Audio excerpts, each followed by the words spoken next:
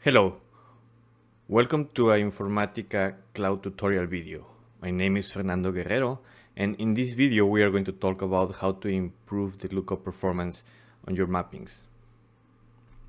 Through this video we are going to see what is a lookup transformation, why it's important to turn up the mappings when using lookups. Uh, we will see a demo about the tips that we have for this and also I will show you links to documentation so you can read more about this topic. The first thing is what is a lookup transformation? It is a transformation that allows you to query data from a lookup table.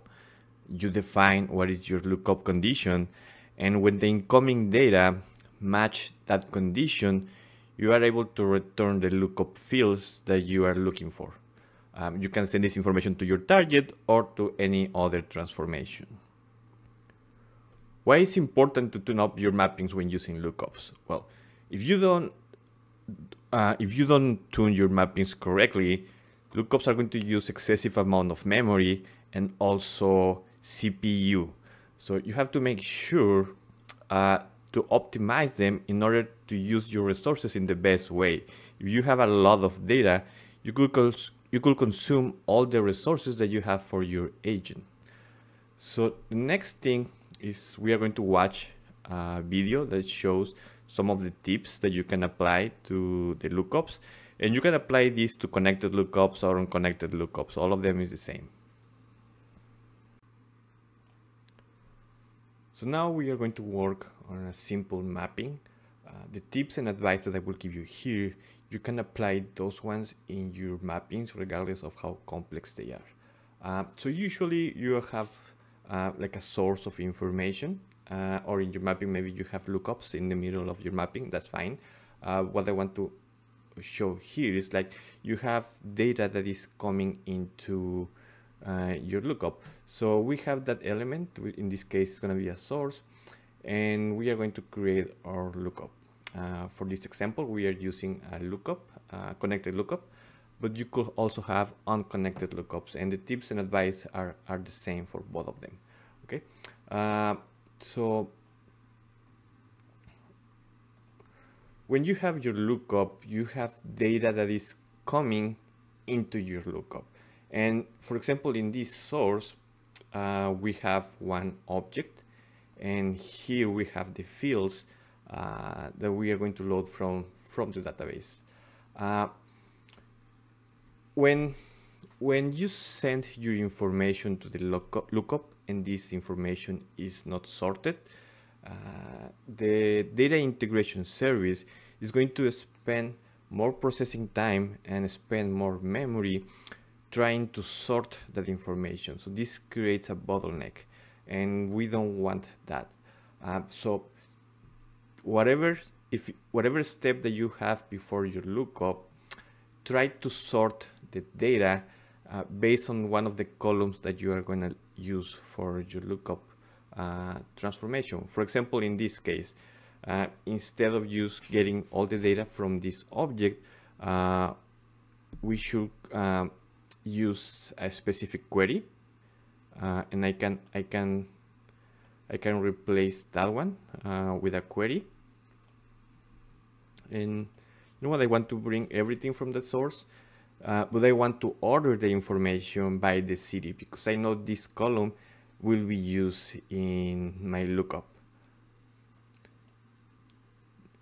Now, if you have uh, you have multiple steps here, maybe you have expressions, you have other transformation before your lookup, uh, there is one step, there is one transformation that you can use uh, to sort all the information just in case um, you don't have that one in the in the select query. So here you see this one? This one is a sorter transformation. So um, yeah you, you could have that one in in the middle just in case here you have expression or any other transformation before your lookup but the idea is to always uh, sort the data that is coming into your into your lookup. Uh, in the same way uh, when you create your lookup um, transformation, instead of just bringing all the information from one table, uh, like selecting the uh, the object, uh, it's better to also uh, create a query. So I am going to select my my database here, uh, my my connection, and instead of bringing the the object, I want to specify a query. And I am going to write a query and I, am going to sort the information by the same column and the same order that I did for my incoming data. This is going to save you so much processing time and memory in, in your service. Okay. Uh, another thing that you have to, to do is go to the advanced uh, uh, setting and search for this, this setting, call it sorted input. He, because you are writing the queries uh, to sort the information that comes from here and the information from the lookup, you want to indicate that this data is already sorted. If you don't do it, uh, the data integration service is going to try to sort the information. So it's going to spend memory and CPU trying to sort the information again. So don't forget about specifying this, this setting here, okay? Uh, another thing that you can do to improve the performance is check, um, okay, let's go to select the your lookup condition, okay? So, well, in this case, uh, the names are very similar from my, uh, from my source to my lookup. So I am going to create a prefix to to make a difference between incoming data and lookup data. Okay, so let's go to create a lookup condition. So I want to look up my information based on the city. I want make it equal. And when you have these two columns that you want to compare, uh, make sure that you are using only the precision that you truly require. Uh, for example, in this case for city, we see city has a precision of 30. I have seen mappings where the precision is like 200, 4000 sometimes. And this is an incredible waste of memory and it's going to slow down your mapping really, really bad. So make sure that the precision is not that high. Use only what you need and that that's all. That will save you uh, a lot of a lot of memory. Uh, so let me see what do we have here. Okay, so this is this is valid now. Uh, so this is what you have to do in the mapping. Remember, always sort your information, your incoming information, sort um, your lookup information, come to the advanced uh, section and select sorted input and check the precision of your fields. So this is what you can do in the in the mapping. Uh, but also in the mapping task, uh, there are other few things that, that you can do to improve the performance uh, of your process. So let's going to create a, a new mapping task.